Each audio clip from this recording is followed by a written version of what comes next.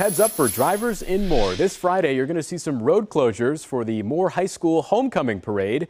Closures are going to be starting around 1.30. The parade kicks off at Moore High School around 1.45. Going to head west on, uh, then turn north on Eastern Avenue all the way up to Northeast 12th. Then they're going to turn east and end at Buck Thomas Park